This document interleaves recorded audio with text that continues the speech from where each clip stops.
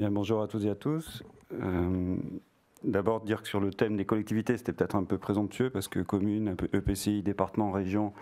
euh, sur l'ensemble des manifestations, euh, je n'aurais pas cette prétention de tout traiter. On a eu un, rapide aperçu pour les collectivités locales, donc je ne vais pas en parler. Dire quand même qu'au niveau des associations nationales, j'en ai interrogé quelques-unes, on n'a pas forcément de statistiques parlante, exhaustive sur tout ce qui se fait, euh, notamment sur les accompagnements budgétaires ou autres. Donc j'en ai sondé quelques, quelques-unes, notamment euh, Sport et Territoire, et qu'ils n'ont pas forcément d'éléments précis sur l'accompagnement d'administration. Donc euh, mon propos aujourd'hui devant vous, c'est plus de vous donner un exemple, un focus sur ce qui se fait essentiellement à l'échelle des départements, pour plusieurs raisons. Euh, la première, c'est que euh, toute l'antériorité du dispositif GDESI, euh, et à la fois le Code du sport, les anciennes lois de décentralisation et la loi NOTRe ne l'a pas trop remise en cause actuellement. il y a déjà un petit peu d'expérience et cette antériorité permet, en tout cas sur l'organisation des manifestations sport nature, dire que c'est aujourd'hui quand même l'échelon privilégié. Ça, c'est un premier point. Et surtout, ce que, enfin, ce que je souhaite que, que vous reteniez de mon, intervention, en tout cas l'axe que je lui ai donné, c'est plutôt des éclairages, des tendances vers quoi vont les départements en termes d'accompagnement auprès des, ordinateurs de mes stations et de, facilitateurs, pour moi c'est le mot important, entre les ordinateurs, les services de l'État, les gestionnaires, enfin tous ceux qui peuvent graviter de près ou de loin euh, par rapport à ça. Donc j'ai pris quelques exemples, je, prie d'excuser les collègues euh, qui sont d'autres départements qui mènent aussi des actions innovantes et que je ne citerai pas, mais vous aurez compris qu'au travers de quatre ou cinq exemples que je vais développer euh, maintenant, euh, l'idée c'est de comprendre comment aujourd'hui plusieurs départements fonctionnent et au même titre qu'on l'a vu au début des années 2000 sur les dispositifs GDESI, assez rapidement, d'autres départements ont suivi un peu cette, ligne directrice et risquent d'évoluer dans le même sens assez rapidement. Donc le premier exemple que je voulais développer, c'est l'exemple de, la Drôme. Euh, qui euh, met à disposition euh, une base assez conséquente auprès des ordinateurs, puisque tout le travail qu'ils ont conduit et Jean-Marc Prieur, qui est dans la salle, en est à l'origine depuis longtemps, que ce soit les plans départementaux d'itinéraire de promenade randonnée, le DESI, mais aussi des, informations qui sont parfois pas faciles à trouver pour des gens comme Pascal Bayot, qui gravitent sur plusieurs départements ou autres. C'est-à-dire toutes les données type fonds, fonds hygiène, photo aérienne, les données cadastrales, les limites de communes, vous l'avez sur le, PowerPoint, mais l'idée c'est bien d'avoir accès à tous les, zonages. Et ce que vous voyez avec l'exemple d'un SIG tel qu'il est produit en dessous, euh, c'est un, outil qui maintenant est ouvert aux, ordinateurs et qui peuvent d'un seul clic aller euh, trouver quasiment toutes les informations en temps réel avec l'avantage, c'est qu'elles sont mises en ligne euh, quasiment en temps réel par les partenaires que sont le mouvement sportif, les gestionnaires de sites ou autres, puisque ça c'est le travail au quotidien d'Egdesi et que quand l'opérateur va faire une consultation, il se trouve avec des, éléments qui sont mis à jour en temps réel. Donc je ne redévelopperai pas pour chaque département, mais c'est un peu toujours le, même principe sur les nouveaux outils en ligne euh, qui sont mis en place. Sur l'Ardèche, euh, ils ont aussi euh, un extranet qui fonctionne de la même façon, qui est très performant, qui a aussi une belle antériorité. Je crois qu'il doit y avoir maintenant 8 ans, 7 ou 8 ans d'antériorité sur cet outil, qui est très apprécié des organisateurs, mais pas que. Euh, dire aussi qu'il y a quand même souvent une volonté politique, et peut-être qu'elle n'a pas été aujourd'hui euh, très notée et prise en compte, mais les, élus sur le territoire, par le biais de, des subventionnements aux ordinateurs, peuvent quand même largement insuffler euh, des choix et des orientations. Donc je trouve intéressant l'exemple de l'Ardèche au travers de ces, trois axes qui, eux, sont très marqués et qui font que vous avez plus ou moins d'accompagnement financier selon que vous respectez ou non ces thèmes, donc les aspects sociaux avec eux une forte euh, euh, propension à, développer un accès au sport pour tous. Alors, je ne suis pas en train de dire que c'est bien, que telle, politique est, mal ou elle est bien, mais juste dire que euh, par le biais du levier financier, les politiques peuvent, peuvent influer les ordinateurs sur, sur des thèmes qui, qui leur tiennent à cœur.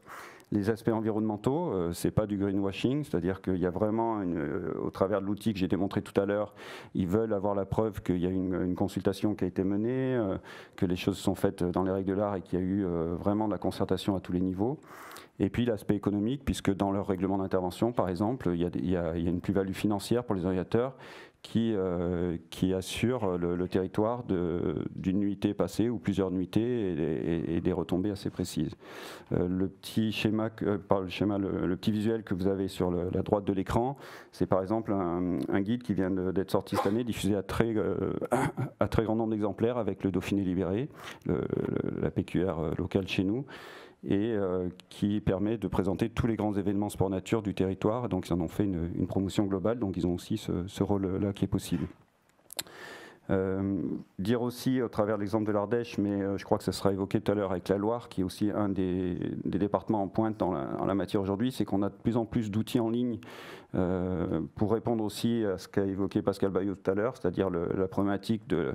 la multiple saisie des dossiers. Donc eux, ils vont vers des CERFA compatibles. Euh, Ce n'est pas encore complètement opérationnel auprès des services de l'État de l'Ardèche, mais en tout cas, ils y travaillent ensemble pour, pour avoir ça. Donc euh, cet outil en ligne, euh, on le verra tout à l'heure aussi avec l'exemple du, Pas-de-Calais tout à l'heure, euh, ce sont des, démarches sous forme interactive en ligne et qui peuvent être réutilisées après de multiples manières et que l'ordinateur n'a pas à ressaisir à chaque demande spécifique.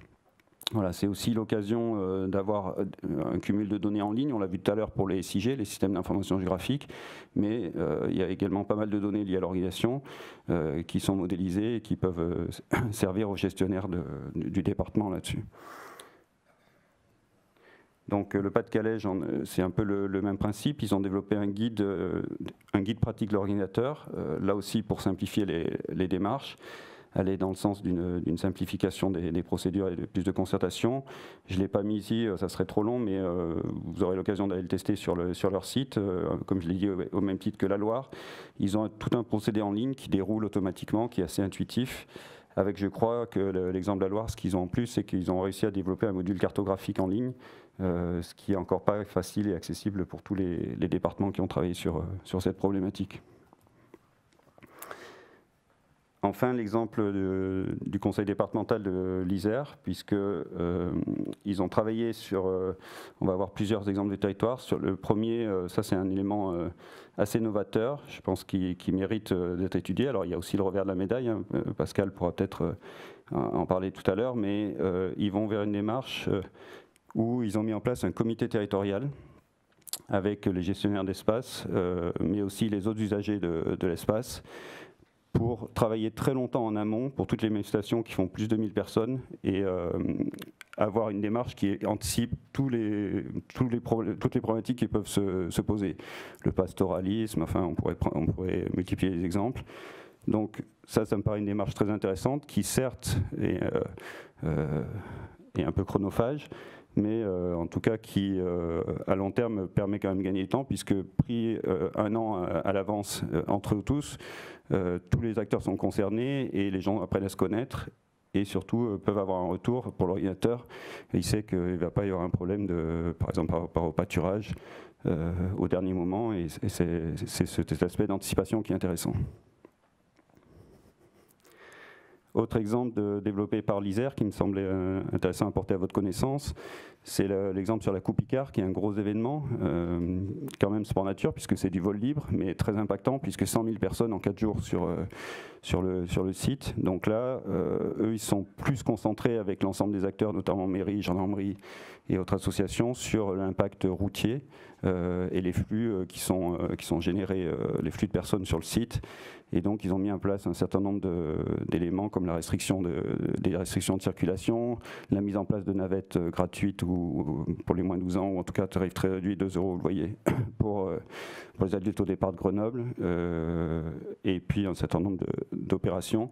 Donc ça, vous voyez, typiquement, le, rôle de l'accompagnement d'un conseil départemental, mais on pourrait imaginer qu'un EPCI ou une commune soit également dans ce type de logique.